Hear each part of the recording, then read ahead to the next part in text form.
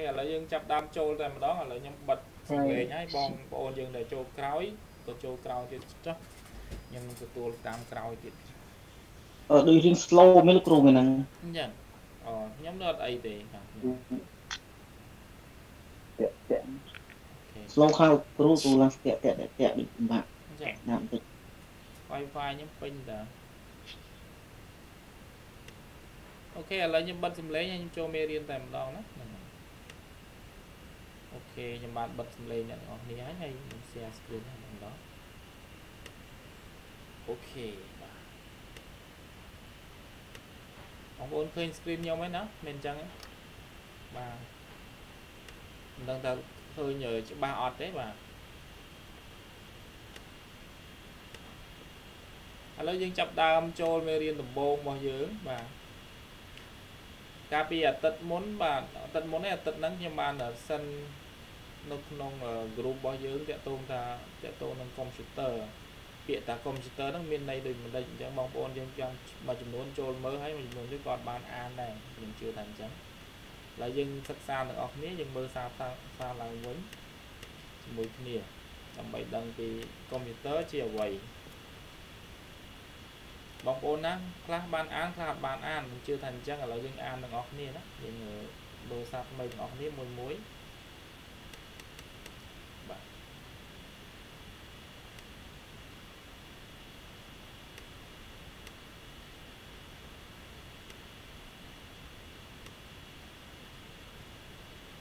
អូ ខេបាទកុំព្យូទ័រគឺជាអ្វីបាទជាអ្វីពាក្យថាកុំព្យូទ័របាទបងប្អូនប្រហែលចាំមកចេញសញ្ញាអីឃើញឃើញខ្ញុំហ៎បងប្អូនឃើញហ៎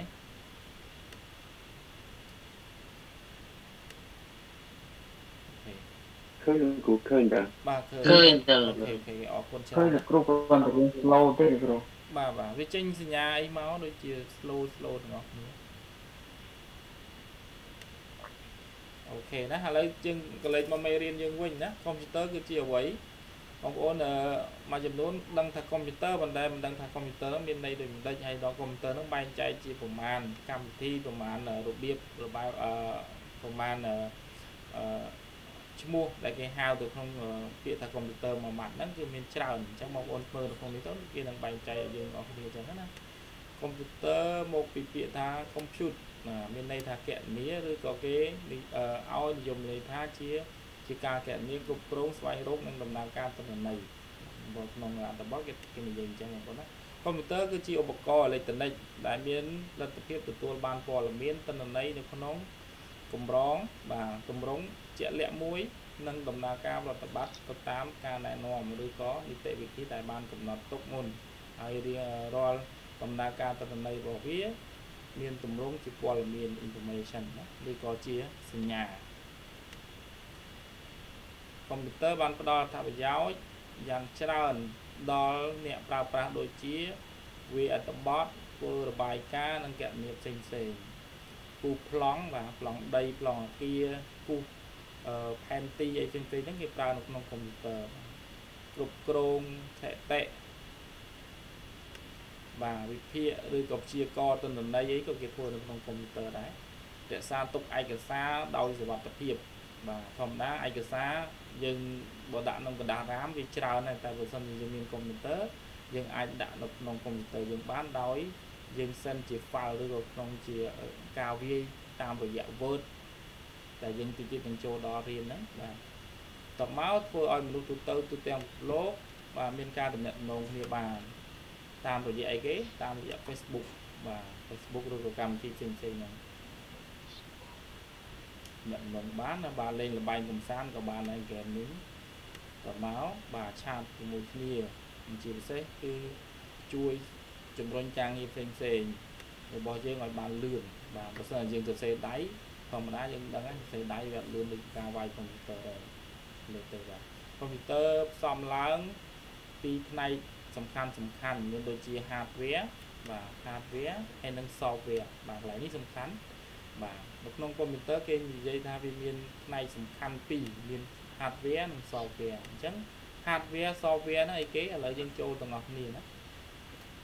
hardware គឺជាផ្នែករឹងពាក្យថា hardware មួយម៉ាត់គឺជាផ្នែករឹងគឺជាវិធីត្រង់របស់កុំកុំព្យូទ័រដែលយើងអាចមើលឃើញនិងប៉ះបានអ ញ្ចឹងអីគេបងប្អូនទៅមើល hardware មានដូចជាបាទអ្នកដែលចូលក្រោយបានកុំកុំតន់និយាយដោយសារតែយើងកំពុងបរៀនណាជាស្អាតផងបាទមានដូចជា monitor monitor ឬក៏ system keyboard mouse printer scanner speaker អីផ្សេងៗហ្នឹងគឺគេហៅនៅក្នុងពពួក hardware អញ្ចឹងកុំព្យូទ័រធម្មតាកុំព្យូទ័រយើងមានរឹងហើយមានទន់ណា នៅដូចយើងឃើញនៅក្នុងកុំព្យូទ័ររបស់យើងមានអីគេមាន cache cache ឬក៏នៅក្នុងហ្នឹងមាន board មាន memory មាន RAM មាន hard disk អីផ្សេងៗហ្នឹងគេហៅនៅក្នុងពពួក hardware បាទ speaker អីហ្នឹងក៏ hardware ដែរ scanner printer mouse mouse ដែលយើងចុចនៅក្នុង computer ហ្នឹងក៏វានៅក្នុងពពួក hard hardware ដែរហ្នឹងតបមក បាទ monitor មានតួនាទីបង្ហាញរូបភាពព័ត៌មានឬក៏ទិន្នន័យផ្សេងៗឲ្យអ្នកប្រើប្រាស់ឃើញវាជារូបរាងស្រដៀងទៅនឹងទូរទស្សន៍បាទបងបងប្អូនប្រហែលជាប្រើតែ laptop អញ្ចឹងយើងសម័យទៅលើពួក desktop បាទកាលពីមុនកុំព្យូទ័រធំធំបាទដូចនៅពីក្រោយខ្ញុំនេះនេះអញ្ចឹងអាក្រង់ធំនេះគេហៅ monitor ហើយ monitor ដូចជាទូរទស្សន៍អញ្ចឹងវាវាមានទូនាទីបង្ហាញទិន្នន័យឲ្យយើងអញ្ចឹងបាទតមក system unit បាទជាការជាបណ្ដុំធំជាងគេសំខាន់ជាងគេបង្អស់នៅក្នុងចំណោមប្រព័ន្ធកុំព្យូទ័រទាំងមូលនៅក្នុងនោះវាមានចំណែក hardware ជាច្រើនទៀតដូចជា computer cache និង power supply board CPU RAM hard disk DVD room copy disk បងប្អូនប្រហែលជាពាក្យខ្លះយើងអត់ទាន់ស៊ាំនឹងវាទេដោយសារតែនេះវាជាឈ្មោះនៅក្នុងគ្រឿងរបស់កុំព្យូទ័រឈ្មោះបច្ចេកទេសនៅក្នុងគ្រឿងផ្គុំរបស់កុំព្យូទ័រចឹងបងប្អូនប្រហែលជាធ្លាប់ឃើញហើយនៅក្នុងនៅលើ desktop វាមាន monitor វាមានគេហៅ CPU អន្តរបញ្ឈរអញ្ចឹងហើយនៅក្នុង CPU ហ្នឹងវាមានពពុះអឺ នេះ power supply សម្រាប់ផ្ទុកភ្លើងបាទពពួក CPU ពួក RAM RAM នេះយើងដឹងមានតួនាទីដូច memory ចឹងអញ្ចឹងគេយើងទិញ computer យើងសួរគេ RAM ធំគឺវាវាផ្ទុកទិន្នន័យឲ្យយើងបានច្រើន RAM hard disk បាទ hard disk នេះគឺសម្រាប់ចាក់ចាក់ CD បើយើងមើលទៅពួកប្រភេទ desktop ដែលគេដាក់លើតុហ្នឹង hard disk គឺវាសម្រាប់ចាក់ DVD ឬក៏ CD បាទ copy disk អីផ្សេងផ្សេងហ្នឹងអញ្ចឹងអានេះវាតាក់ទងទៅនឹងប្រភេទ hard hardware hardware វាផ្គុំដោយគ្រឿងទាំងអស់នេះមានន័យថាវាជាប្រភេទរបស់រឹងហើយយើងអាចចាប់កាន់វាបានអាហ្នឹងគឺពពួក hard disk ហើយបាទតមក keyboard keyboard ដែលយើងរៀនវាយដំបូងគេហ្នឹងនៅក្នុងកុំព្យូទ័រយើងហ្នឹងដែលមានអក្សរសម្រាប់ឲ្យយើងវាយហ្នឹងគេហៅ keyboard អញ្ចឹង keyboard មានតួនាទីសម្រាប់វាយបញ្ជូនទិន្នន័យឬក៏សម្រាប់ចង្អុលជ្រើសរើសយក menu បាទ menu នឹងណាមួយមកប្រើមកប្រើប្រាស់មានមុខងារមួយចំនួនដូចជា mouse ដែរបាទអញ្ចឹង keyboard ហ្នឹងក៏វាមានមុខងារមិនខុសពី mouse ទេ mouse យើងដឹងហើយប្រភេទម៉ៅយើងដឹងហើយនេះម៉ៅបាទ ម៉ៅហើយ keyboard គឺវានៅជាប់ជាមួយនឹងកុំព្យូទ័រយើងស្រេចដែលយើងវាយអក្សរហ្នឹងគឺគេហៅ keyboard ហើយអញ្ចឹងបាទទៅមក keyboard របស់កុំព្យូទ័រ desktop មានចំនួន101 102 104ឬក៏105 key មានន័យថានៅក្នុង key របស់យើងវាមានចាប់ពី101ឬក៏102 104ឬក៏105ប៉ុន្តែសារឥឡូវ ក្នុងកុំព្យូទ័រកាន់តែទំនើបទៅគេប្រើ screen ច្រើនអញ្ចឹងពេលខ្លះ keyboard នៅក្នុងហ្នឹងវាគេបង្រួញបង្រួញពីច្រើនទៅមកតិចអញ្ចឹងណាបាទហើយវាចែកចេញជា5ផ្នែកណាបាទ function key letter key និង special key allow key បាទនិងអីគេ numeric key ឬក៏ key keypad បន្តិចទៀតយើងនឹងចូលដល់កន្លែងហ្នឹងទាំងអស់គ្នាតើគេបែងចែក block key មួយមួយហ្នឹងជាឈ្មោះអញ្ចឹងតើក្នុងអត្ថន័យយ៉ាងម៉េចយើងតិចទៀតខ្ញុំនឹងមានវីដេអូដើម្បីបង្ហាញបងប្អូនទាំងអស់គ្នាអញ្ចឹងណាបាទមិញខ្ញុំបញ្ជាក់បន្តិចកុំព្យូទ័រពុំឡើងពីសំខាន់សំខាន់គឺមាន hardware និង software បាទកន្លែងនេះសំខាន់បាទ hardware និង software ចំពោះ hardware គឺជាប្រភេទ គ្រឿងដែលយើងអាចកាន់បានប៉ះបានហើយវាជាប្រភេទរឹងគ្រឿងរឹងនៅក្នុងកុំព្យូទ័រយើងបាទឥឡូវយើងទៅសិក្សាទាំងអស់គ្នានៅ software ម្ដង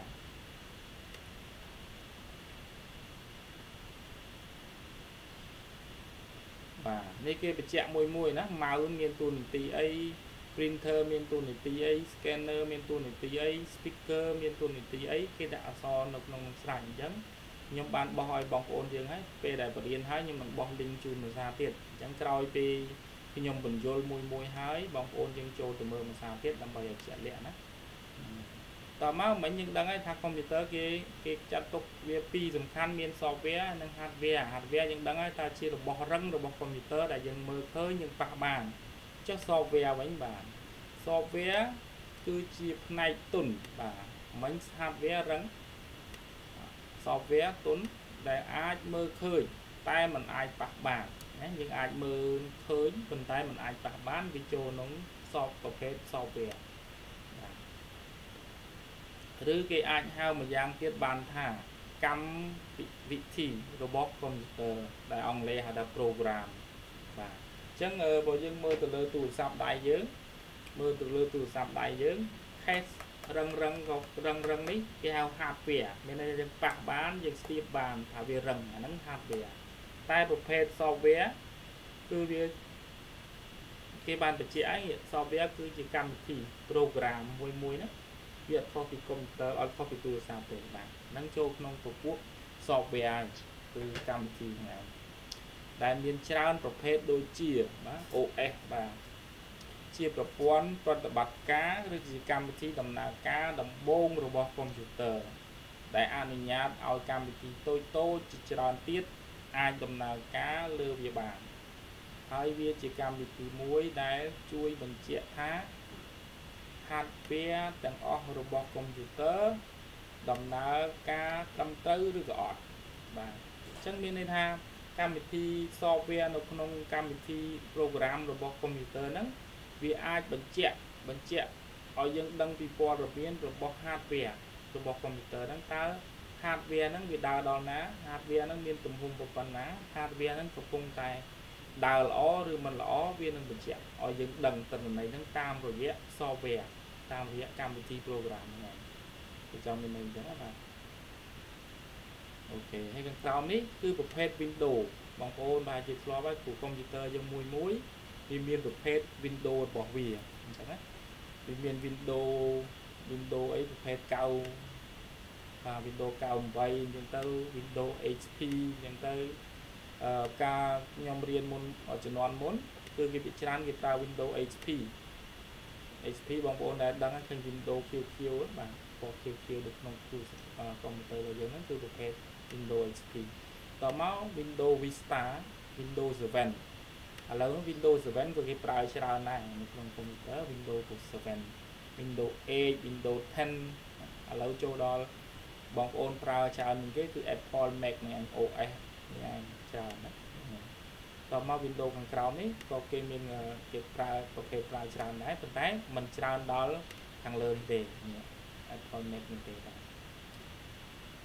តមកខាងក្រោមអីគេ application software គឺជាកម្មវិធីតូចតូចរបស់កុំព្យូទ័រដែលអាចដំណើរការបានបន្ទាប់ពីបញ្ចូលបាទ operating system រួចហើយឥឡូវយើងខាងលើនេះខ្ញុំចង់បញ្ជាក់ថាទី1គេចង់ឲ្យយើងនិយាយពីកុំព្យូទ័រគឺជាអីយើងដឹងហើយយើងចូលមើលភាសាទៀតទៅតបមកខាងក្រោមនេះកុំ ព្យូទ័រគួបផ្សំឡើងពីសំខាន់សំខាន់មាន hardware និង software hardware គឺជាពពួកធាតុរឹង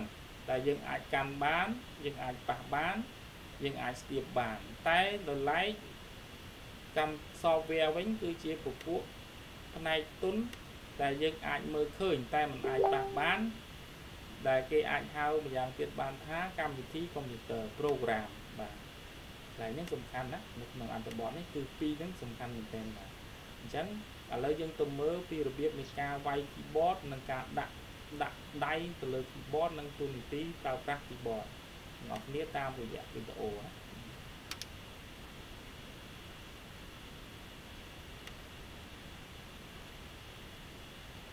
ា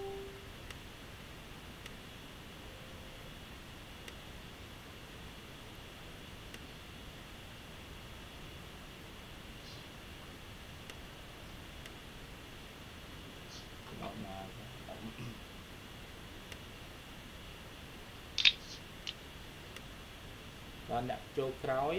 ខ្ញុំអត់បានបិទសំឡេងទេណាហ្នឹងហើយគាត់ថាជាបានទីប្រញាក់ដែរហ្នឹង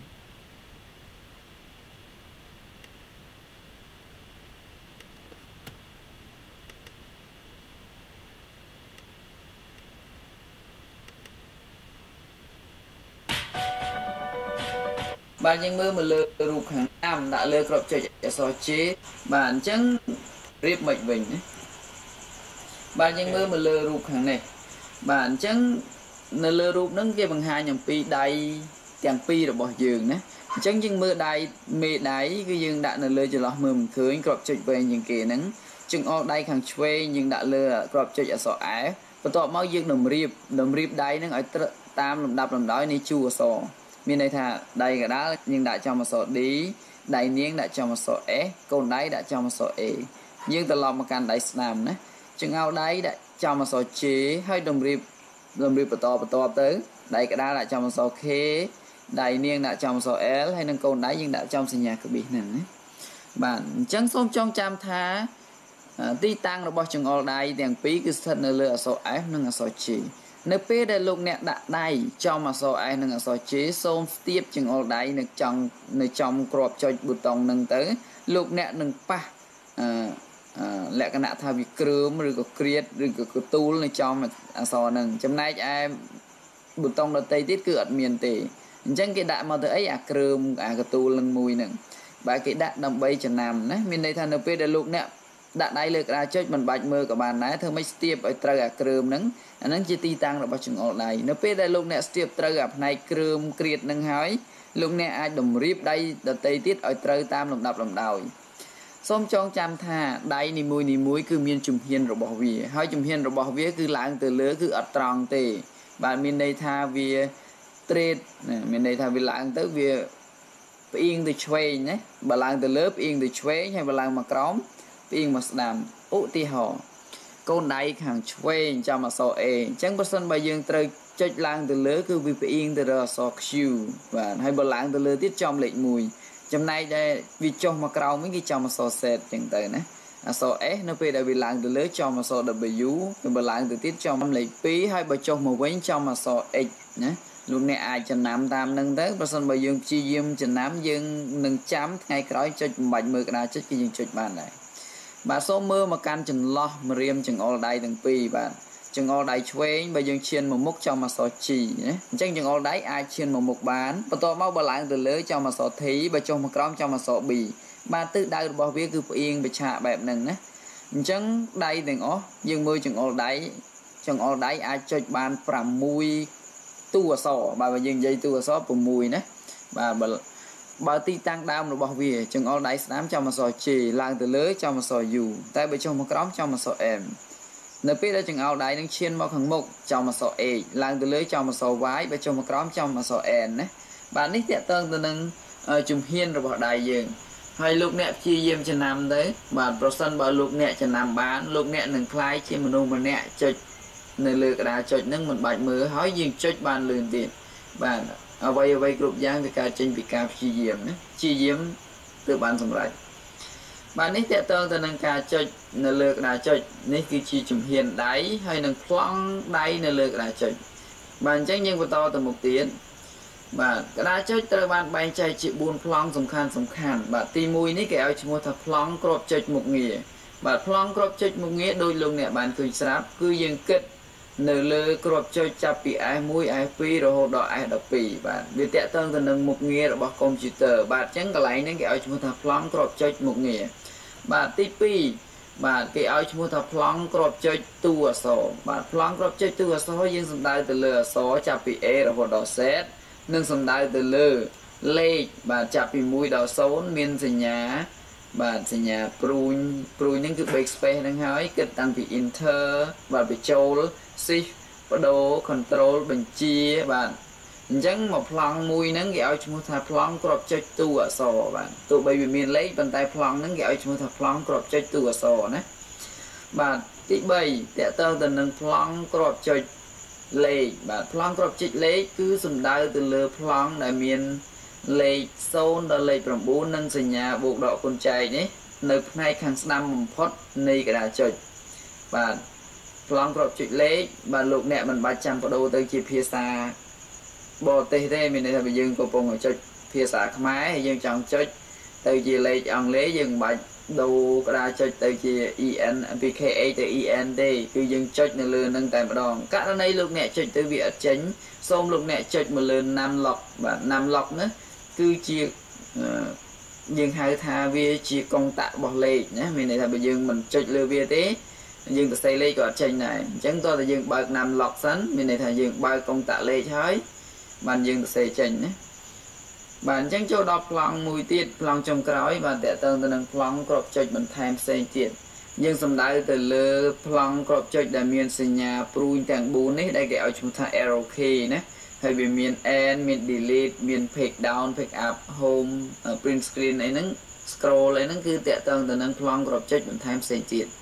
បាទអញ្ចឹងថ្ងៃនេះខ្ញុំបង្ហាញលោកអ្នកអំពីការប្រើប្រាស់កណ្ដុរនិងក្តារចុចបាទលោកអ្នកអាចទាញយក slide នេះសម្រាប់ការបង្រៀនក្មេងៗបាទ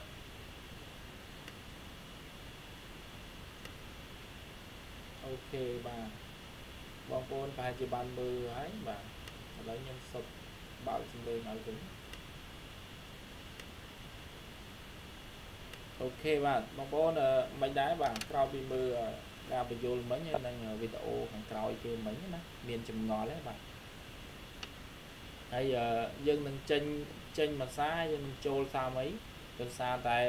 Zoom របស់យើងប្រើបានតែ40នាទីទេអាហ្នឹងយើងចាត់ទុកថាយើងចេញលេងចុះហើយយើងចូលមកវិញណាអូខេខ្ញុំបោះ link ជូនមួយសារទៀតបាទអឺ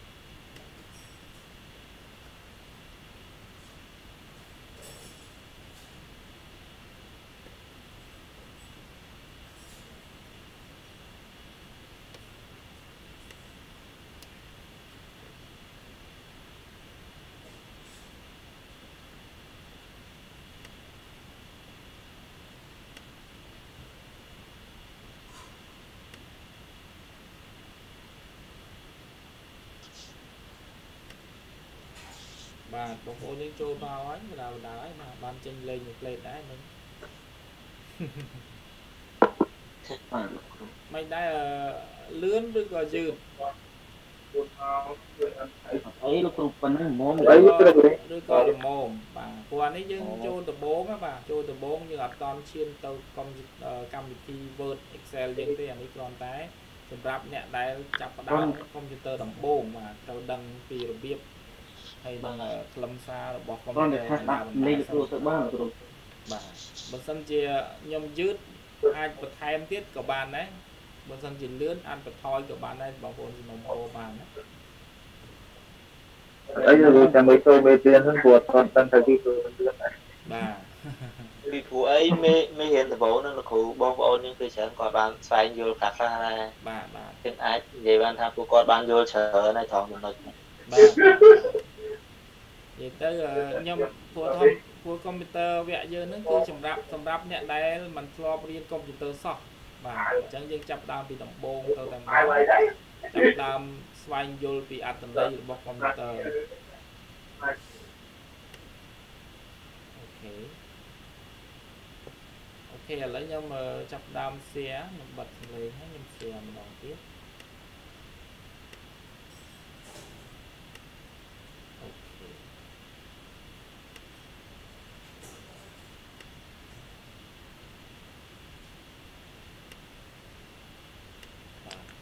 យើងចូល មកមេរៀនវិញវិញ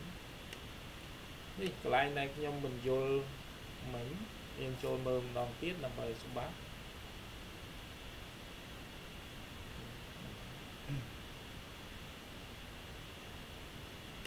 អូខេនេះអឺ link មួយនេះក៏ខ្ញុំនឹងផ្ញើជូនបងប្អូនដែរពោះតាក់ទងទៅនឹងអ្វីដែលខ្ញុំបញ្យល់មិញបាទ monitor បាទ monitor មានប្រាប់ហើយគឺពិន្ទុហ្នឹងឯងបាទពិន្ទុឬក៏របស់ដែលបង្ហាញតនន័យមកឲ្យយើងឃើញហ្នឹងតបមកម៉ៅបាទម៉ៅនេះបងប្អូនដឹងហើយណាក៏ស្គាល់ដែរម៉ៅ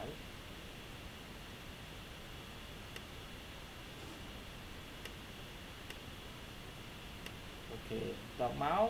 ហើយនេះ drive បាទ drive សម្រាប់អឺបងប្អូនដែលឃើញគេអឺ តភ្ជាប់គេហៅដូចជាលក្ខណៈ RAM RAM ខាងក្រៅបាទដើម្បីផ្ទុកទិន្នន័យឬក៏តកតងទៅនឹង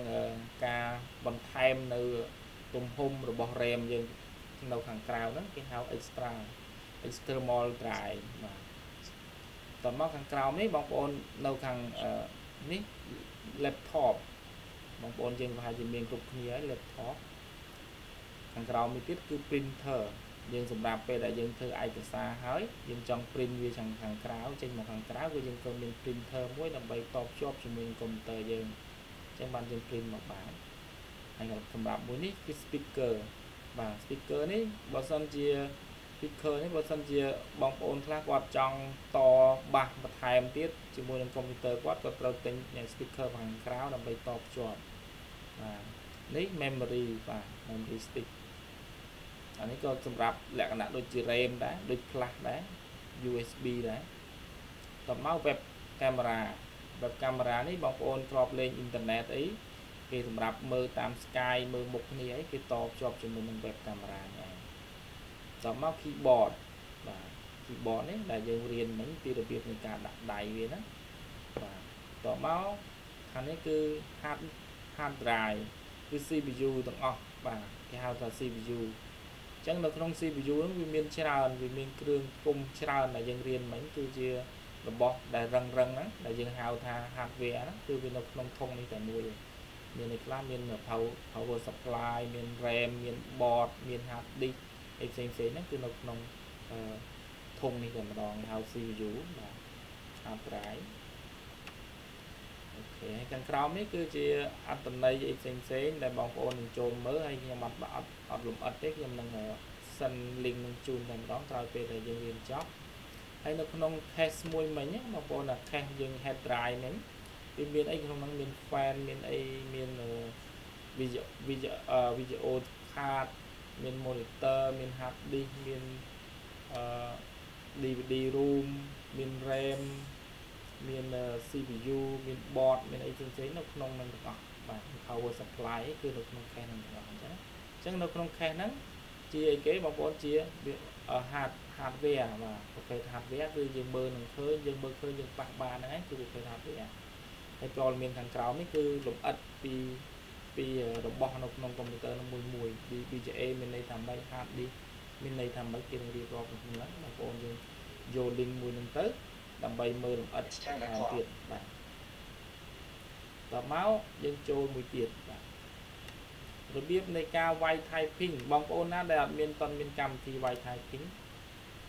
បាទសូមមកកាន់ភ័ក្រមណ្ឌលដើម្បីទាញយកកម្មវិធីវាយ typing typing នេះសម្រាប់អ្នកដែលរៀនដំបូងបាទអ្នកចូលដំបូងគឺត្រូវវាយ typing typing វាចេញជារូបភាពអញ្ចេះគ្រាន់តែកុំព្យូទ័រមួយចំនួនត្រូវតម្លើងកម្មវិធីផ្សេង ហ្នឹងនេះកម្មវិធីដែលយើងត្រូវរៀនវាយ typing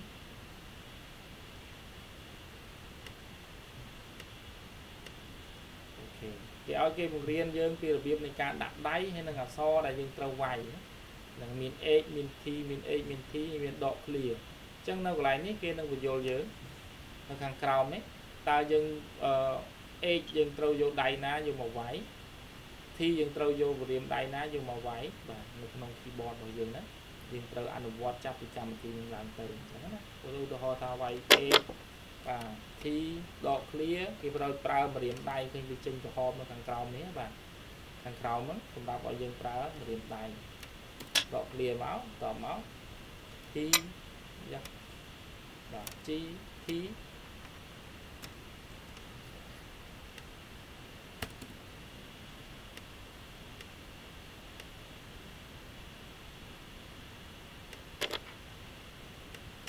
ម្ដងទៀត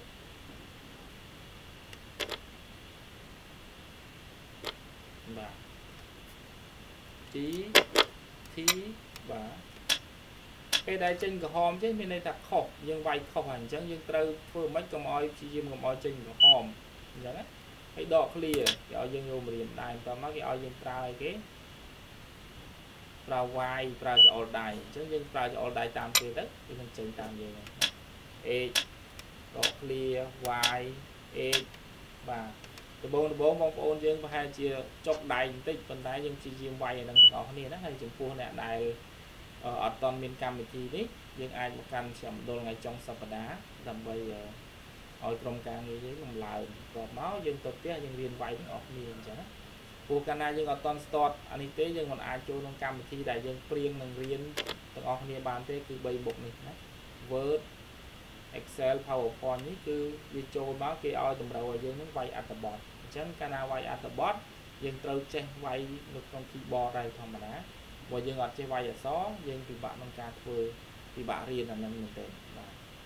ព្រោះភាសាអីវាចេញមកជាលក្ខណៈអក្សរជាអង់គ្លេសអញ្ចឹងមួយអត្ថបទមួយអត្ថបទវាវែងអញ្ចឹងបងប្អូនយើងទាមទារយើងវាយអានឹង start ហើយបានយើងចូលមេរៀនយើងតែម្ដងណាហើយអ្នកមកសៅរ៍អាទិត្យជួបខ្ញុំផ្ទាល់វាយរៀនវាយជាមួយខ្ញុំផ្ទាល់ហើយអ្នកដែលបានជួបកឡើងកម្មវិធីឲ្យទៅកាន់ផ្ទះវិញទៅគេឋានវិញយើងអាចវាយរៀនវាយខ្លួនឯងអូខេ តមកបាទវគ្គដំបូងតមកពេលក្រោយពេលដែលយើងវាយ typing អង់គ្លេសនឹងហើយយើងនឹងចូល typing ខ្មែរដែលយើងអាចហៅថាខ្មែរ Unicode យើងមានកម្មវិធីនឹងហើយនៅទេបើសិនតែមានសូមកម្មសាខាដើម្បីក្រុមការងារដាក់ជូនណាអូខេអញ្ចឹងគេឲ្យយើងវាយវិញអសសគេទៅយកម្រាមដៃណាយកមកវាយនៅលើ keyboard យើងអូខេតមកដោយ ស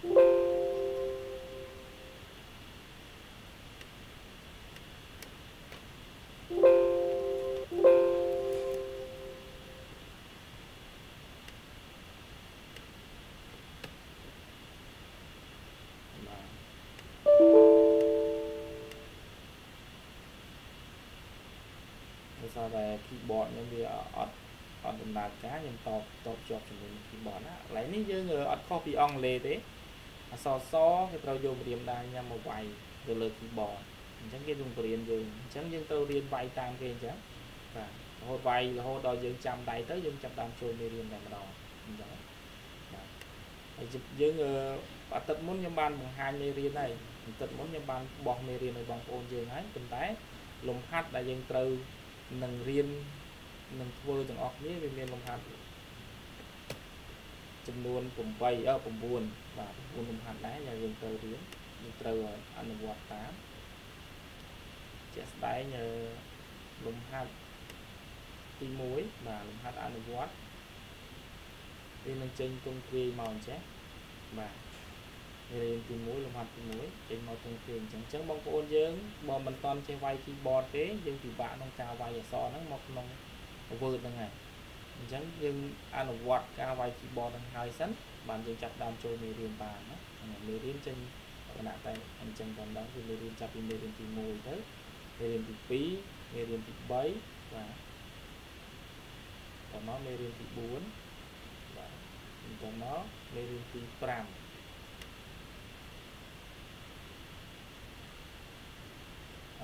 តមកមេរៀនទី6មេរៀនទី7 បាទ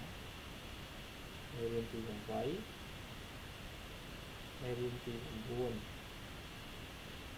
នេះចប់ត្រឹមមេរៀនទី9ក្នុង Word ណាអញ្ចឹងបងប្អូនឃើញកន្លែងនេះបានមានអក្សរអង់គ្លេសមានអក្សរខ្មែរអញ្ចឹងណាមានអក្សរខ្មែរអញ្ចឹងបើសិនជាយើងអត់តន់ចេះវាយ keyboard ទេអញ្ចឹងយើងពិបាកក្នុងការធ្វើលំហាត់ហ្នឹងអញ្ចឹងទី1សំខាន់ជាងគេគឺត្រូវរៀនវាយ keyboard មុនគេបាទ ដែលយើងមិនអាចជាគាត់បានបើយើងរៀនចប់ Word នឹងហើយបានយើងឈានមក Excel ចប់ Excel ហើយបានឈានដល់ PowerPoint អញ្ចឹង3មុខហ្នឹងដែលយើងត្រូវរៀននៅពេលខាងមុខជាមួយគ្នាយើងអត់តន់ចាប់ផ្ដើមចូលមេរៀនទេយើងគ្រាន់តែអឺចូលក្បាលដំបូងឲ្យយល់ពីអត្ថន័យពីកុំព្យូទ័រហើយនឹងការបែងចែករបស់កុំព្យូទ័រហ្នឹងមានអីខ្លះមាន hardware មាន software បងប្អូនចាប់ដើមដឹងបដាបដាក្រោយពេលដែលវាយ keyboard typing នឹងហើយយើងចូលមេរៀន Word មុនគេបាទអូខេឥឡូវយើងចូលទៅជាមួយនឹងបងប្អូនយើងវិញបានយើងមានចំណង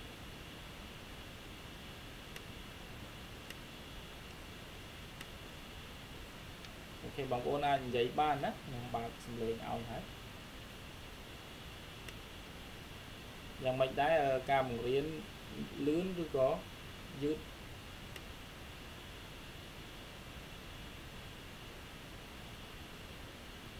លឺឯបាទលឺខ្ញុំណាលឺគ្រូលឺលឺលឺមិនដែរបាទលឿនឬក៏យឺតប៉ុណ្ណឹងមុំគ្រូប៉ុណ្ណឹងប៉ុណ្ណឹងមុំគ្រូបាទមុំណាកុំលឿនយ៉ាងហ្នឹងពេកប៉ុណ្ណឹងមុំអាការគាត់យើង បងប្អូនខ្លះគាត់ធ្លាប់រៀនអញ្ចឹងអឺរៀងតឹងចិត្តបន្តិចហើយថាឲ្យចង់ឲ្យលឿនជាងហ្នឹងឬក៏សម្រាប់តែអ្នកដំបូងគឺយើងប៉ុណ្្នឹងចុះ speed យើងប៉ុណ្្នឹងទៅដើម្បីសម្រាប់អ្នកដែលគាត់អត់ដែលរៀនសោះដែរអញ្ចឹងហើយវីដេអូខ្ញុំនឹងបោះជូនបងប្អូនយើងតិចទៀតក្រោយពេលដែលយើងរៀនចប់បាទគ្រូមានសំណួរតើតើតនឹងការខ្ញុំរៀនពីមុខមិញ ចង់ចង់សំណុំពរសម្រាប់ការរៀនវៃ keyboard ហ្នឹងគ្រូចង់ទុករយៈពេលត្រឹមថ្ងៃថ្ងៃរៀនរៀនស្នាក់ដៃចឹងគ្រូចង់ចូលមករៀនបានបាទបាទនិយាយទៅបើសិនបងប្អូនអត់តន់ចេះវាយ keyboard ទេយើងអាចចូលមេរៀនបានទេបាទព្រោះតោះតែយើងចេះវាយអក្សរបានយើងចាប់ដើមចូលមេរៀនបានយើងធ្វើបានអញ្ចឹងអញ្ចឹងគ្រូសម្រាប់អ្នកចេះគាត់អាចទៅបានតែសម្រាប់អ្នកថ្មីដូចខ្ញុំនេះគឺនៅរៀនរឹងដៃគ្រូជួយគាត់ត្រូវ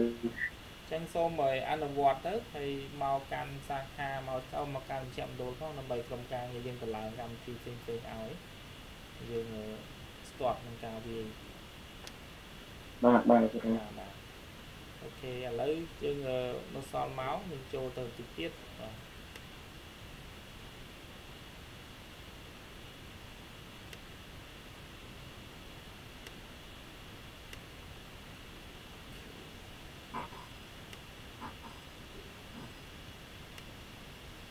បាទមិញ ខ្ញុំបង្ហាញពីការវាយ keyboard របៀបនៃការវឹកហាត់ដៃយើងបាទនៅវាយហៅ typing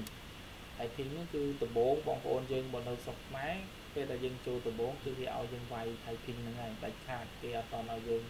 ចូលទៅក្នុងកម្មវិធី Word ទេបាទយើងរៀនតាមអនឡាញក៏ដូចគ្នាដែរប៉ុន្តែកុំព្យូទ័រយើងរៀន on offline រៀនមកផ្ទាល់គឺចេះជាងជាងការរៀនអនឡាញ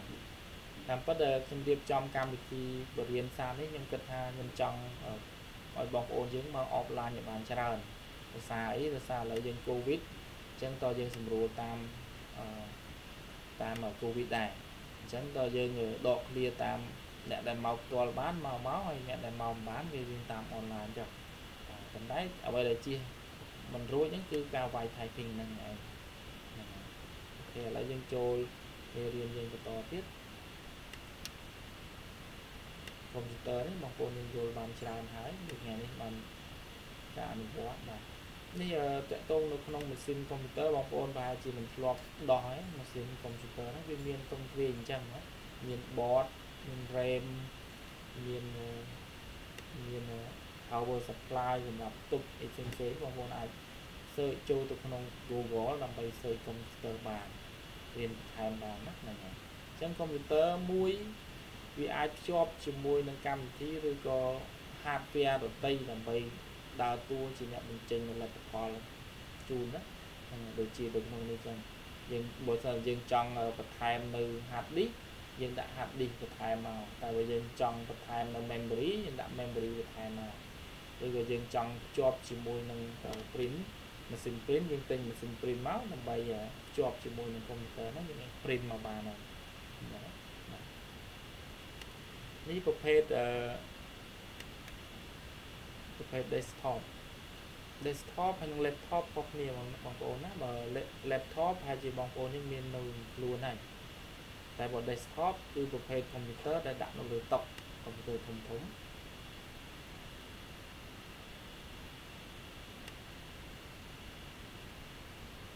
ញ៉ាំនេះ Wi-Fi ហើយដើរយឺតហ្នឹងនេះណាបាទអញ្ចឹងបងប្អូនមើលរូបនេះប្រហែលជាធ្លាប់ដឹងហើយ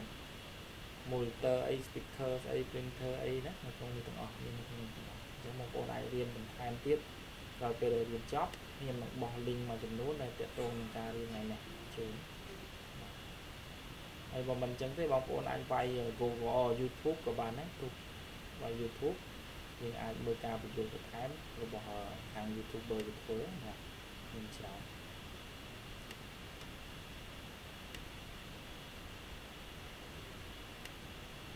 អូខេតោះមកខ្ញុំចេញមកខាងក្រៅពីរបៀបបញ្យល់ពីរបៀបនៃការចូលកម្មវិធីដែរបាទបងប្អូនឃើញនៅក្នុងកុំព្យូទ័របាទនៅក្នុង Windows បាទ Windows នេះហៅ Windows ហ្នឹងបាទចឹងនៅក្នុង Windows ហ្នឹងវាមានអីខ្លះវាមាន shortcut ជាកម្មវិធីតំណាងតំណាងនៅក្នុងហ្នឹងដោយសារតែខ្ញុំទាញយកឲ្យមកដាក់មកលើ Windows ដើម្បីងាយស្រួលក្នុងការទាញឬក៏ចូលក្នុងកម្មវិធីហ្នឹងណា អញ្ចឹងក្នុងក្នុងការបញ្យល់របស់ខ្ញុំមិញ software គឺប្រភេទហ្នឹងឯងបាទប្រភេទ software មានអីខ្លះបាទ Telegram មាន Word មាន Excel មានអីហ្នឹងគឺ software គឺចូលទៅក្នុង program ដែលយើងហៅថា program បាទអញ្ចឹងរបៀបនៃការចូលកម្មវិធីយើងត្រូវដាក់ mouse យើងយក mouse យកមកដាក់កន្លែងហ្នឹងមកតមកយើង click click double click ពីរដងមិនអញ្ចឹងណាយើង click មួយគឺធម្មតា click មួយធម្មតា double click គឺយើងបើកកម្មវិធីហ្នឹងឬក៏បាទឬក៏បងប្អូនយើងចុចទៅលើវាមួយឲ្យវាចេញអញ្ចឹងហើយឬក៏បងប្អូនចុចទៅលើ keyboard យើងយកពាក្យថា enter enter បាច់ចេញមកក៏វាបើកឲ្យយើងដែរហ្នឹងរបៀបនៃការ click បើកកម្មវិធីហើយមួយទៀតយើងពីរបៀបនៃការបើកវាមាន3យើងចូល direct តែម្ដង លក្ខណៈថាយើង click ទៅលើកម្មវិធីហ្នឹងពីរដង double click ទៅវាចូលតែម្ដង double click ចូលណាក៏មកយើងចូលនៅក្នុង start បាទ start menu ខាងក្រោមនេះយើងចូលមកក៏មកយើងវាយពាក្យថា word វាយនៅក្នុង keyboard ហ្នឹងវាយ word មកបាទ word មកអូបងប្អូនឃើញវាចេញមកបាទអញ្ចឹងយើងคลิกទៅលើវាមួយមកគឺវាបើក word ឲ្យយើងអូ បាទមានរបៀបចុច direct នេះក៏បានឬក៏បងប្អូនចូលកន្លែងនេះវាយពាក្យ word ក៏បានឬក៏បងប្អូនចូលកន្លែង search នេះបាទវាយពាក្យថា word ដូចគ្នាណាគឺវាចេញមកដែរបាទយើងចុចមកចូល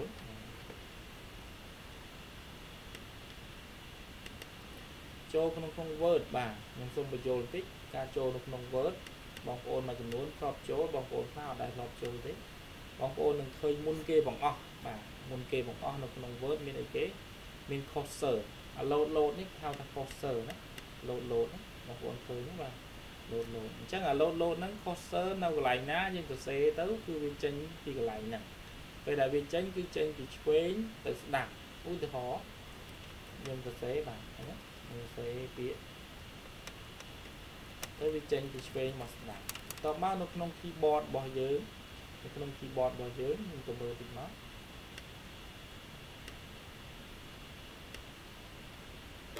បាទ keyboard យើងយើងឃើញយើងឃើញមានពាក្យថា backspace នៅខាងនេះបាទ backspace នេះសម្រាប់លុបណាសម្រាប់លុបអូខេឥឡូវខ្ញុំចង់លុបខ្ញុំចុច backspace ឬក៏បងប្អូនយើងអឺអាចចុចពាក្យថា delete នៅក្នុង keyboard របស់យើង ព្រោះប្រភេទ computer ខ្លះមានសរសេរ delete ប្រភេទ computer ខ្លះអឺដាក់ពាក្យថា backspace អញ្ចឹងយើងលុបម្ដងមួយណាOK តមកបងប្អូនចង់ចុះបន្ទាត់បាទបងប្អូនចង់ចុះបន្ទាត់បងប្អូនចុចទៅកន្លែងណាគឺបងប្អូនចុចទៅលើ enter បាទ enter កន្លែងនេះបងប្អូនអាចចុះបន្ទាត់បានហើយ enter អូខេ enter ពេលដែលចុច enter បងប្អូនឃើញ keyboard អឺ cursor load មកខាងក្រោមណា នេះឃើញ load មកខាងក្រោមអញ្ចឹងបងប្អូនសរសេរបាន OKតែមកចង់ចុះបន្ទាត់ទៀតបងប្អូនអាច enter ទៀតមកយើងអាចអឺវាយបានណា enter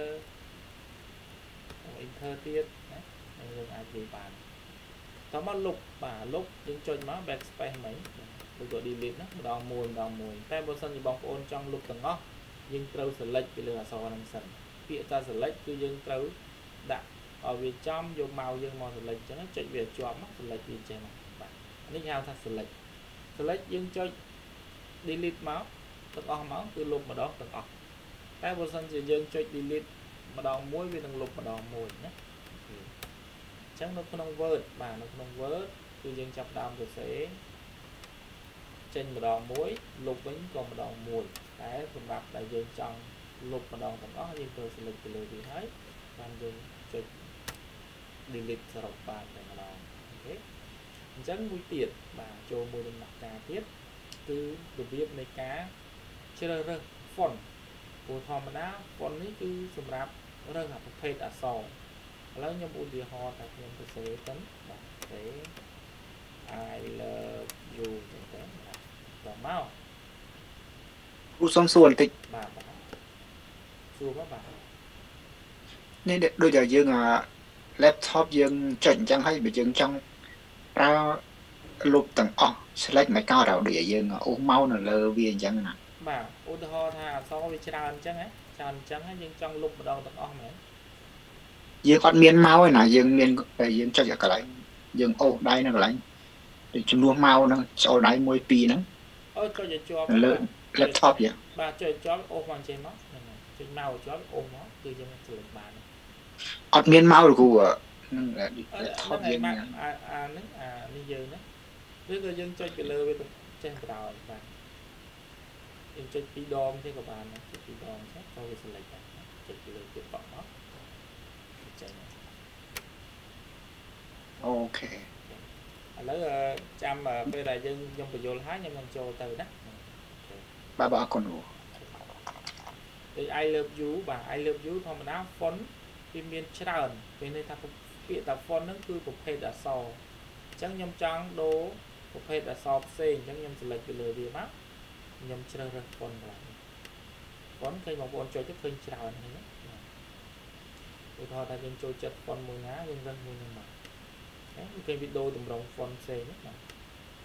font ផ្សេងបាទ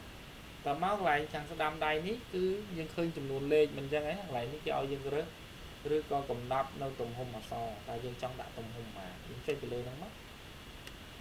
ដល់យើងយកមកប្រមាណវាកាន់តែធំអក្សរកាន់តែធំអញ្ចឹងណា OK OKវាប៉ុណ្ណឹងចង់គឺបងប្អូនថាចង់រំកិលឲ្យវាធំម្ដងបន្តិចម្ដងបន្តិចតូចម្ដងបន្តិចម្ដងបន្តិចនេះនៅខាងស្ដាំដៃហ្នឹងណាធំធំធំតូចតូចតូចធំធំធំអូខេណាហ្នឹងហើយអាហ្នឹងតកតងនឹងកម្មវិធី Word ដំបូងគេបង្អស់ណាហ្នឹងហើយហើយចូលចាប់ពីថ្ងៃស្អែកទៅគឺយើងចាប់ដើមយល់ដឹងពី Word ឲ្យបានច្រើនជាងហ្នឹងដោយយើងចែក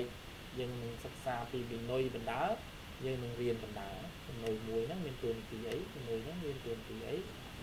បាទវិន័យហ្នឹងមានទួនាទីអីនៅក្នុងវិន័យហ្នឹងយើងត្រូវរៀនលម្អិតទៀតគឺវាបែងចែកជាប្លុកបាទប្លុកមួយប្លុកពីរប្លុកបីប្លុកយើងនឹងរៀនឲ្យដឹងពីទួនាទីក្នុងហ្នឹងទាំងអស់អូខេអញ្ចឹងថ្ងៃហ្នឹងខ្ញុំបង្ហាញប៉ុណ្្នឹងចុះខ្ញុំនឹងចូលទៅក្នុងសំណួរចម្លើយចំក្រោយរបស់យើងOK អូមិញរបៀបនៃការបើក Word យើងដឹងហើយចុចមកបាទពេលដែលពេលដែលយើងបិទវិញបិទវិញពេលដែលយើងបើកយើងបើកមកអញ្ចឹងទៅពេលបិទយើងចុចខ្វែងវាយនៅខាងស្ដាំដៃហ្នឹងចូលមកបិទ OK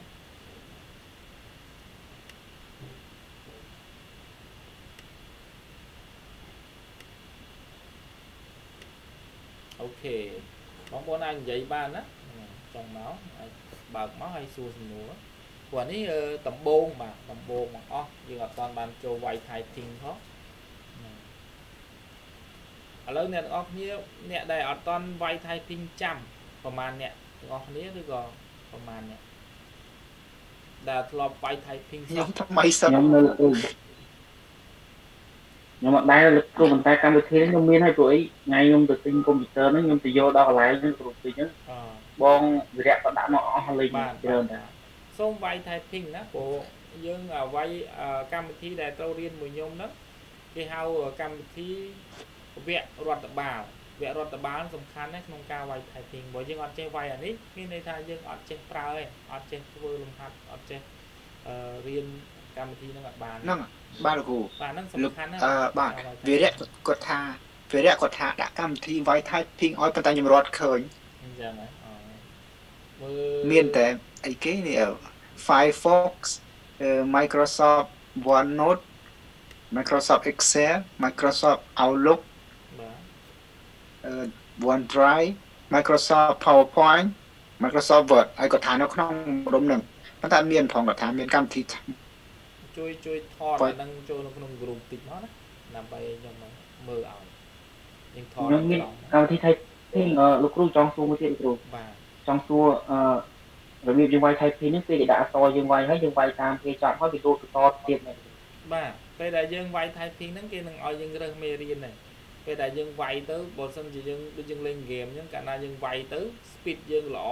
វានឹងចូលមេរៀនថ្មីឲ្យយើងតែតម្លៃតែយើងវាយទៅ នៅខុសច្រើន speed យើងអត់ទាន់បានល្អវាអត់ទទួលស្គាល់វាឲ្យយើងវាយសារថ្មីអញ្ចឹងណាតែបើសិនតែយើងចង់វាយអូតយល់ទៀតអូបើសិនជាវាមិនមិនទៅមុខដូចទេហ្គេមអញ្ចឹងណាដូចអាហ្គេមយើងបាទយើងចង់ select យកមេរៀនផ្សេងអាហ្នឹងយើង select បានអញ្ចឹងណាហ្នឹងហើយអញ្ចឹងអឺការវាយ typing ហ្នឹងខ្ញុំនិយាយឲ្យនិយាយទៀតដោយសារវាសំខាន់អញ្ចឹងពេលដែលបងប្អូនយើងចូលមេរៀនអ្នកដែលវាយ typing ពូកែ start លឿនគឺគាត់ធ្វើលំហាត់លឿនដែរ តែចំពោះបងប្អូនយើងដែលអត់ទាន់ start នៅវាយមួយមួយដៃយើងចុចមួយមួយដូចចុច Casio អីមិនងាយទេបាទមិនងាយទេគេធ្វើដល់ណាដល់ណីហើយយើងរៀនអត់ធ្វើអត់តាន់ចប់មកកដាស់ផងអញ្ចឹងដំបូងយើងមិនអាចមើលរំលងអាហ្នឹងថ្មីលោកគ្រូចឹងដៃឡើងរឹងបាទយើងចាត់ទុកថាហ្នឹងជារៀនដៃគ្រឹឡើងះជាគ្រឹះដំបូងរបស់កុំព្យូទ័រវាមានសារៈសំខាន់របស់ការរៀនរបស់យើងទៅអញ្ចឹងទៅអញ្ចឹងយើងយកចិត្តទុកដាក់តាមហ្នឹងទៅនិយាយទៅដាក់ឲ្យនៅរឹងទៅជាអត់ទាន់បានទេលោកគ្រូទៅពេលយើងថ្មីអញ្ចឹងរហូតវាច្រឡំចុចម្ដងទាំង5 9រៀមណាបាទបាទអញ្ចឹងអាដៃហ្នឹងយើងត្រូវសិក្សាពីទូនីតិរបស់វាដៃចអល់ហ្នឹងវាឲ្យយើងទៅខាងណាខ្លះវាយមានទូនីតិវាយទៅលើនៅបើ keyboard ទៅលើអក្សរឲ្យខ្លះបើដៃកដាលមានទូ Key- នីតិវាយទៅលើ keyboard អក្សរអាខ្លះអញ្ចឹងយើងព្រាអឺយើងព្យាយាមប្រើវាទោះបីយើងចុកដៃក៏ដោយក៏យើងត្រូវការប្រើឲ្យដឹងតាមទូនីតិដើម្បីថ្ងៃក្រោយងាយស្រួលក្នុងការវាយ មានន័យថាយើងវាយទៅទៀតយើងអត់មើល keyboard ទេយើងមើលតែអក្សរឯងដល់ដៃយើងដឹងខ្លួនឯងតែម្ដងអញ្ចឹងហ្នឹងហើយតែអញតើយើងដំបងវារៀងហត់នឿយបន្តិចចុកដៃបន្តិចប៉ុន្តែវាឡើងល្អទៅសម្រាប់យើងទៅមុខអញ្ចឹងណាព្យាយាមទៅហើយថ្ងៃសៅរ៍ថ្ងៃអាទិត្យនេះបងប្អូនយើងមកបានបាទជួបគ្នា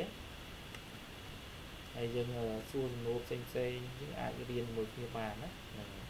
ហើយថ្ងៃស្អែកជួបខ្ញុំមួយមួយថ្ងៃទៀតណាពេលវេលានឹងម៉ោងដដែលថ្ងៃ ស្អែកយើងចាប់ផ្ដើមបាទចូលបាទអញ្ចឹងអឺអឺស៊ីចម្លអញ្ចឹងជម្រាបលាលោកគ្រូបាទបាទថាម៉េចទេដល់លឺ